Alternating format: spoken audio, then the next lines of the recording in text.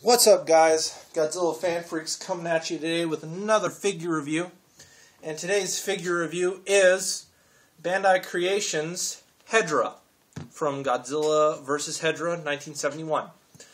Now, this is Hedorah's final form, and just to get right on to it, uh, Hedorah is very, uh, for Bandai Creations, I believe it's Bandai Creations, sorry if I'm getting that wrong, but um, he is actually uh, very nicely detailed and uh, paint job is very nicely done for Bandai Creations. They actually did very accurate with this figure, somewhat accurate.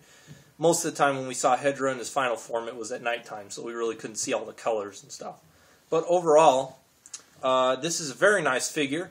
Uh, detail all the way around. I mean, how how uh, good with detail can you get to a giant monster of sludge and crap and trash and pollution and crap? So, uh, but overall, very nicely detailed all the way around. I mean, just all the different little, I guess you would just call it sludge drapes and all the nice little cracks and stuff on the top of his head.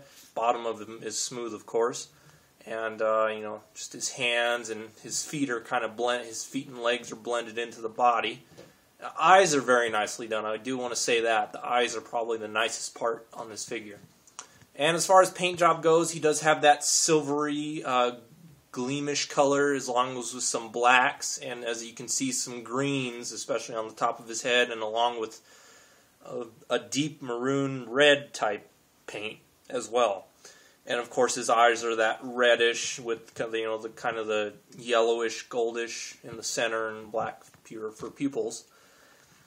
And uh, that's about it to this figure. Um, really there's no articulation at all. There is kind of what I can see is a glue seal that goes around the top here, but I mean, really there's not any articulation to this figure at all. You can bend his tail a little bit, but I mean, really there's no articulation at all with this figure. Um, as far as scale goes, uh, he will scale in well with your six-inch Bandai, you know, Godzilla or from Ultraman. He will scale in well with. Hedorah's supposed to be a little bigger in his final form, about that tall or so, but I mean, not bad. So he will scale in well with your six inch uh, Kaiju Bandai, so not a problem there. And uh, boy, this was a very short review. I don't think I missed anything. But, um, I mean, it's just a very basic Hedorah figure. It's the only Hedorah figure I have. I should maybe get another one, maybe one that has movable arms, or maybe even one of the X Plus ones. That would be awesome. Anyways, um, we are Godzilla Fan Freaks. This is Bandai Creations Hedorah.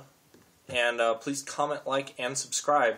And we will see you guys in the next video review. Thank you for watching.